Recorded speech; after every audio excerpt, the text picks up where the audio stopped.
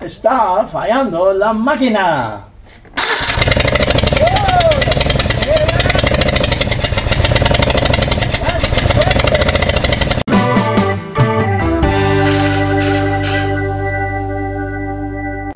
Está fallando la máquina. What does that mean? La máquina, well, that means the machine. Está fallando means it's messing up. The machine is messing up. Está fallando la máquina is a Spanish way to say that it's misfiring. This vehicle is misfiring. How can I tell? Three answers. I can feel it. It's got a little shake to it. I can see it. Got a little shake to it. And I can read it. I can tell that I have a misfire by getting the code. The check engine light is on. Typically, when the engine is misfiring and you're driving down the road, the check engine light will flash. That's the most serious one of all the check engine light possibilities. The check engine light can come on and then go off and then come on and then later go off. That's not too serious. If the check engine light stays on, that's not too serious unless it's not running right. However, if the check engine light is blinking, that is more serious and something needs to be done pretty soon. My code reader tells me PO 302. That means misfire on number two cylinder. Let's go figure out why number two is misfiring. Okay, folks, let's see if we can figure out what's wrong with number two cylinder. This engine cover on this particular one comes off real easy. Just snaps off here, here, and there. I'll just move it out of the way. Now, my code, PO302, tells me that it's number two cylinder. And I've, de I've decided that this one right here is our number two cylinder. So I'm going to first remove the coil. Everything is easy on this one. And it's a good demonstration so you can get the basics down. Now the coil is in this case is held in place by a 10 millimeter bolt. Okay, I'm going to remove this bolt. Okay, I'll take the bolt out. Being careful not to drop it, lose the bolt. The bolt's going to be important. So I'll put it somewhere secure. Now the coil, this is the ignition coil right here. We've had a video on how coils work and I'll leave a link in the description so you can watch it if you want. Now before I take out the spark plug, I'm going to check the coil because sometimes the coil is faulty. Now also there is another video on how to make and use a spark tester. So I'll leave another link in the description so you can learn to make and use your homemade spark tester. We take the homemade spark tester, we put it onto the ignition coil, and I have to ground this wire here.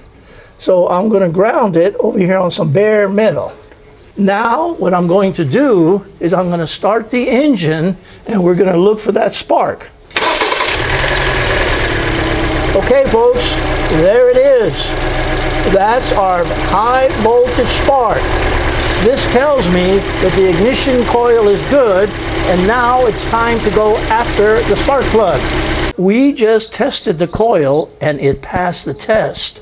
If there was no spark at that spark tester, then I would switch the coils as in, in one of my other videos that I've already put a link in.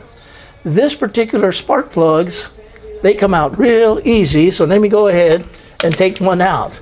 Now it's always good to work on a cool engine that's not warmed up because it's just more comfortable and you prevent any damage to the threads. I would never take some kind of impact and whip those out of there.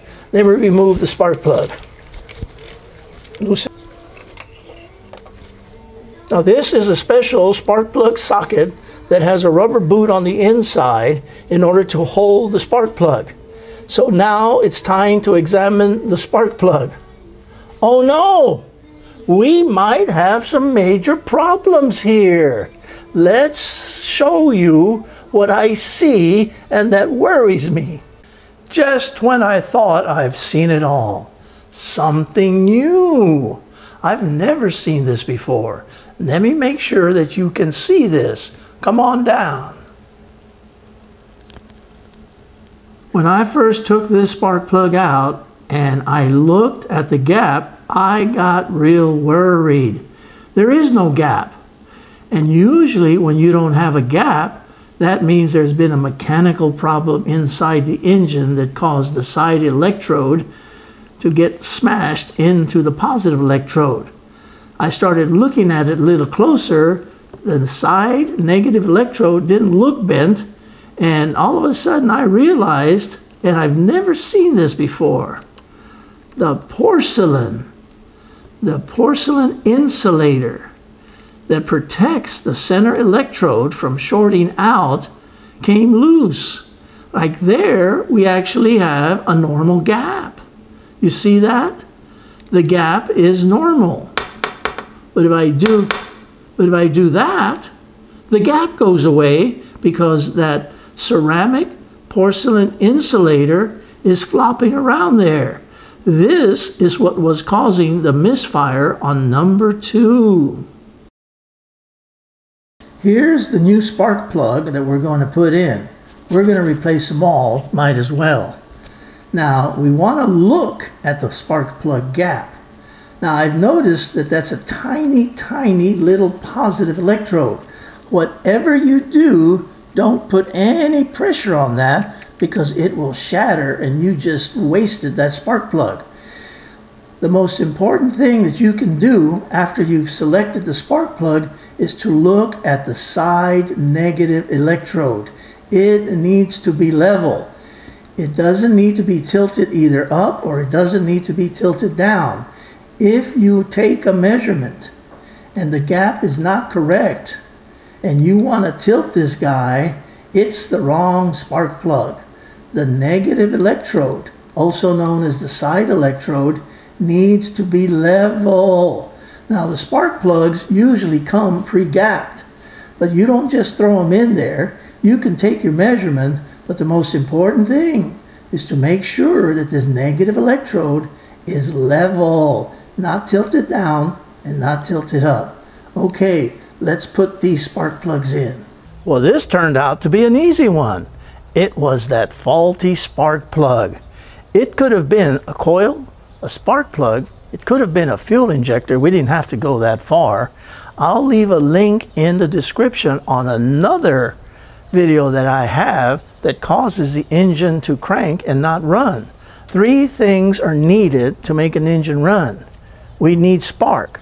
Spark is a nickname for the secondary ignition voltage at the spark plug. That's that high, high voltage. The second thing we need for a cylinder to hit, combust, is the correct air-fuel mixture. That's where the injector comes in. And the third ingredient needed for that cylinder to combust is correct compression. In the very beginning, you heard compression. Now, compression can be measured. The spark can be tested and through a process of elimination. If the spark is good and the compression is good and there's a misfire, well, it has to be the fuel injector.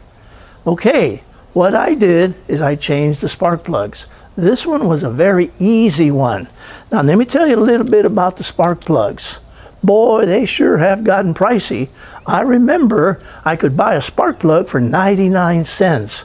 Today, spark plugs, the cheapest one you can get is almost $9. I did some research. You have so many choices on the spark plugs. You can get the platinum, which it had to begin with. Now, I got, I don't want to say the cheapest one, but I got the least expensive one. Instead of spending $18, that's almost 20, four times. How much is that? Two, four, six, $80 for four spark plugs? Forget it. The only time that I would do that if those spark plugs were very difficult to get to. What's the main difference between the expensive spark plug and the less expensive spark plug? The amount of time that is going to last. The platinum spark plug will last 80,000 miles, where the copper tip spark plug will last 30 or 40,000 miles. This particular engine was so easy to put the spark plugs in, and it did fix the problem. I went ahead and put all four spark plugs in. It's not a good idea to put one spark plug in. So I chose the least expensive spark plugs and I put them in. I cleared the code and the engine is running good. Folks, I hope you enjoyed this video. If you did, please give us a thumbs up. If you learned something, tell us in the comments. The comments are very helpful for the YouTube algorithm to help promote my video. And the most important thing, I hope you had a little bit of fun. If you did, and if you haven't subscribed, please do so. Thank you again for the view, and send those thumbs up and the comments. Keep them coming. Thank you.